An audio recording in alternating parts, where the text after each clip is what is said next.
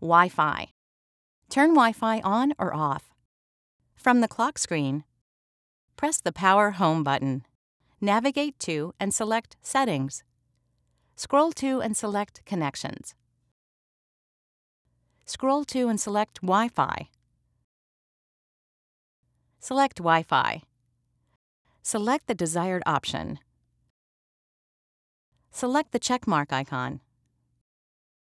To optimize battery life, turn Wi-Fi off when not in use. Connect to a Wi-Fi network. From the Wi-Fi screen, scroll to and select Wi-Fi networks. Select the desired Wi-Fi network. If it is a secure Wi-Fi network, you'll need to select Password. Then select the Enter Password field. Enter the password, then select Done. Select Connect. Thank you.